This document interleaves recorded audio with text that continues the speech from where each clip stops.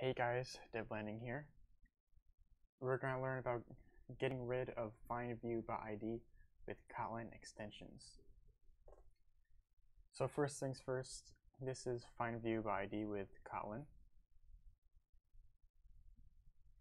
To get rid of this and to make it a lot simpler because there's a lot of boilerplate code here, we need to add the plugin within our Gradle here Kotlin Android extensions.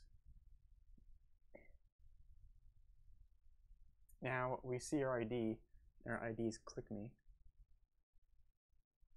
So instead of creating a value button, we simply just access click me, the um, ID.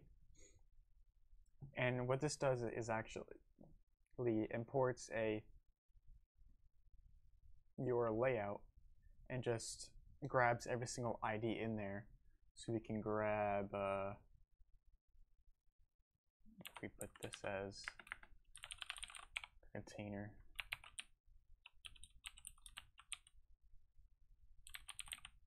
we can grab things from it, any ID. So we can do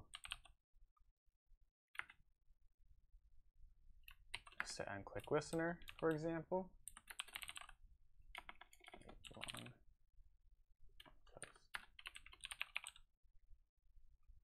So we can access the entire button without even creating the value and that gets rid of a lot of boilerplate code because you look at stuff like this.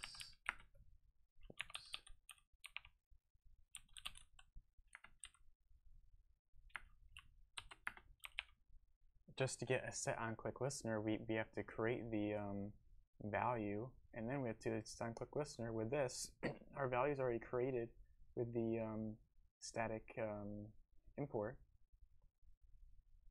We don't have to create the value, we don't even have to worry about it, we just access it whenever we want. And that gets rid of a lot of the boilerplate code.